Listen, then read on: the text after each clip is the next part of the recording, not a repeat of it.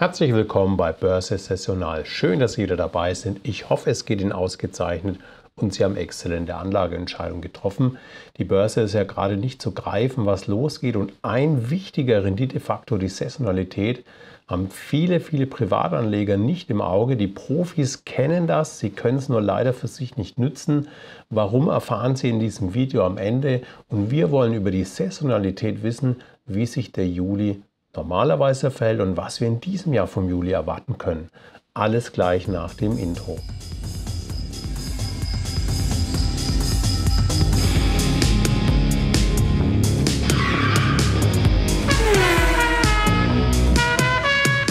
Wir werden zunächst anhand der Renditefaktoren Größe, Wachstum, Value, äh, zyklische Aktien, defensive Aktien, Momentum, werden wir betrachten, wie saisonal sich die Anleger im Moment verhalten, also im Rückblick auf den Juni, um darauf zu schließen, was können wir im Juli erwarten. Am Ende des Videos erfahren Sie einmal den Chart des Monats, wie der Juli normalerweise verläuft und auch warum und warum das in diesem Jahr vielleicht ein bisschen anders verlaufen wird als sonst. Stürzen wir uns auf den Renditefaktor Größe. Normalerweise ist es ja so, dass im Aufschwung die kleinen Aktiengesellschaften besser laufen als die großen. Und dieser Vergleich zwischen großen und kleinen ist ein Renditefaktor. Und deswegen sehen wir hier im Juni 2024 sehen wir, dass die Small Caps minus 4,05% haben, die Large Caps, die großen Unternehmen, minus 0,61%. Das ist ein schlechtes Zeichen für die Börse. Warum? Wenn es Zweifel am Aktienmarkt gibt, werden erst die kleinen verkauft und dann die großen. Es wurden beides verkauft, also mehr Verkäufe als Käufe. Deswegen sind die Kurse im Juni nach unten gegangen, was nichts Neues ist. Der Juni ist oftmals ein schlechter Monat. Und da haben wir aber der Abstand, der ist nicht normal. Das ist ein schlechtes Zeichen für die Börse. Das heißt, es gibt sehr viel vorsichtige Anleger, die die Kleinen mehr aus dem Markt verkaufen wollen als die Großen. Das heißt, äh, hier sind Ängste am Markt. Und das Zweite ist, das ist saisonal ganz untypisch. Der Juni ist zwar schwach, aber trotzdem sind in der Regel die Kleinen besser als die Großen. Schauen wir uns den nächsten Renditefaktor an. Das ist Wachstum und Value. Die Value-Aktien haben richtig stark verloren, minus 5,59 Prozent. Und die Growth-Aktien, die haben nur minus 0,5 Prozent verloren. Das ist ähm, saisonal untypisch. Und ein schlechtes Zeichen für die Börse, dieser große Abverkauf von Value-Aktien. Allerdings muss man sagen, eigentlich sollte ich hier das Zeichen auf Gelb machen. Das mache ich auch gleich, denn wenn die Wachstumsaktien dann doch ähm, ja, so stark behalten werden und die Value-Aktien verkauft werden, heißt es ja, dass doch einige an Wachstum glauben und auch der hohe Zins die Wachstumsaktien nicht bremsen wird. Also insofern eher gelbes Zeichen, aber es ist saisonal ganz untypisch. Das das zweite saisonal untypische Zeichen für den Aktienmarkt.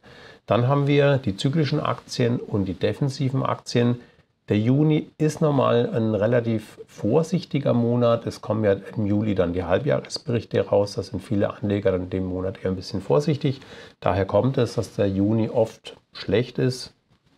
Und dann haben wir die optimistischen die defensiven Aktien laufen besser mit plus 0,67 Prozent, also die haben zugelegt und die zyklischen Aktien mit 2,47 Prozent Verlust deutlich schlechter gelaufen.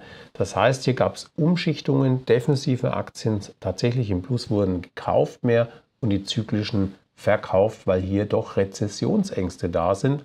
Warum gibt es Rezessions, Rezessionsängste? Also dass die Wirtschaft erlahmt oder schrumpft weil die Zinskurve schon ziemlich lange invers ist und das ist eigentlich ein Zeichen dafür, dass eine Rezession kommt. Ein relativ zuverlässiges Zeichen, muss aber nicht immer so sein. Okay, das ist die zyklischen Aktien und wenn die zyklischen Aktien nicht gekauft werden, heißt es eben Angst, dass die Wirtschaft erlahmt und dadurch auch die Aktienmärkte weiter sinken.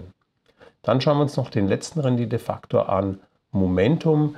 Äh, die Momentum-Aktien haben minus 0,67 Prozent gehabt. Der Markt, also der Stocks Europe 600, minus 1,57 Prozent.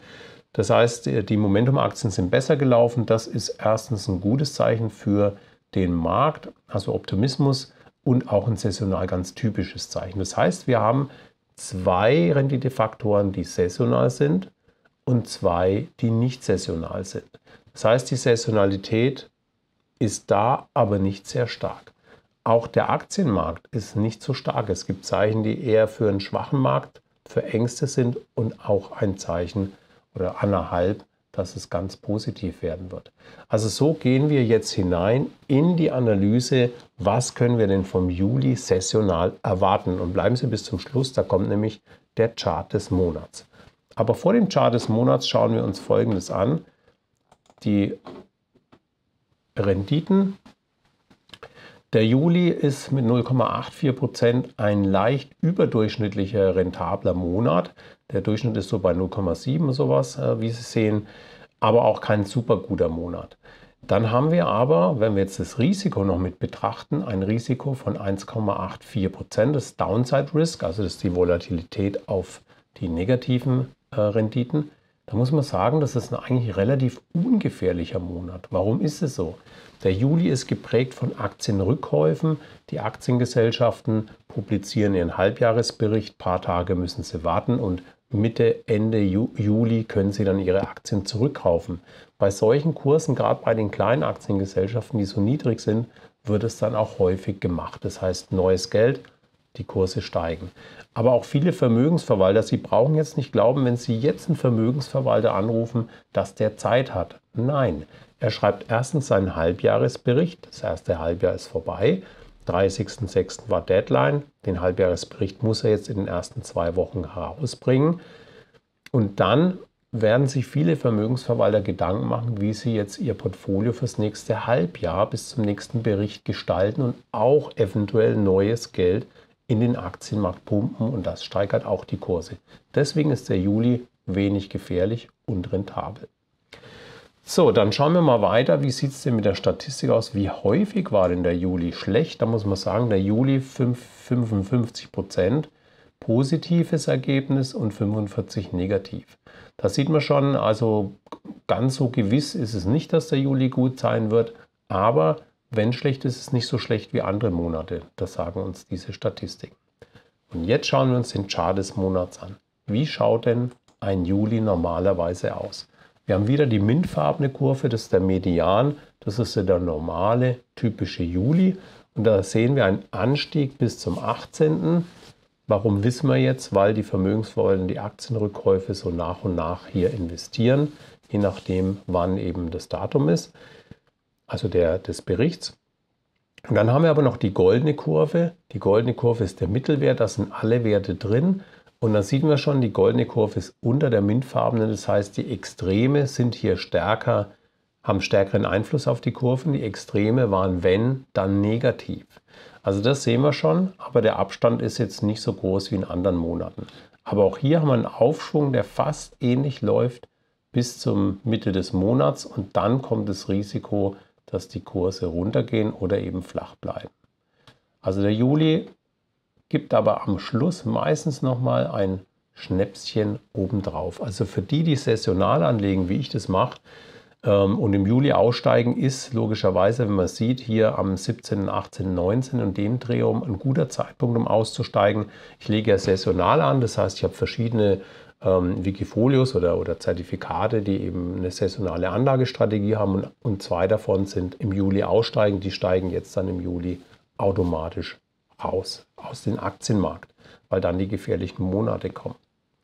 Jetzt haben wir aber noch einen Effekt, den wir beachten müssen, denn der US-Wahlzyklus hat einen großen Einfluss auf die Saisonalität, denn äh, USA ist einfach die größte Volkswirtschaft, da ist das meiste Geld und dort wird Geld geschaffen und der US-Wahlzyklus der ist ganz stark beeinflusst. Das heißt, äh, die USA, wenn der, wenn der Präsident, der wiedergewählt werden will, jetzt ist es der Biden, der wird die Wirtschaft stimulieren, der wird die Aktienmärkte stimulieren, weil das wichtige Argumente im Wahlkampf sind. Also nach dem Motto, eure Vermögen sind gestiegen am Aktienmarkt, die Wirtschaft ist äh, wenig Arbeitslosigkeit, habt ihr mir zu verdanken, wählt mich wieder. Also so ganz kurz runtergebrochen. Und deswegen ist hier oft alles ein bisschen verschoben weil die Fiskalpolitik hier auch mitgreift für diesen Wahlkampf. Und deswegen sieht der typische Juli, das muss Juli heißen, so aus. Das heißt, Wir haben auch wieder einen zackigen Anstieg, aber sehr volatil bis Mitte des Monats. Dann geht es runter und dann nochmal ganz stark hoch. Also das müsste man jetzt im Juli 2024 erwarten, dass der ein bisschen holprig ist am Anfang und am Schluss die richtige Sahne kommt. Und wenn wir jetzt noch den US-Wahlzyklus im ganzen Jahr betrachten, das ist die blaue Kurve, dann sehen wir, dass es nicht beim Juli bleiben wird, dass bis ins August, September rein im US-Wahljahr oft die Kurse stark steigen, bedingt durch den Wahlkampf. Hier wird ganz bewusst Optimismus geschürt, die Aktienkurse werden angeschürt, damit im Wahlkampf, der dann die heiße Phase hat, damit man hier sagen kann, ich bin Präsident, der euer Vermögen vermehrt hat, die Aktien steigen.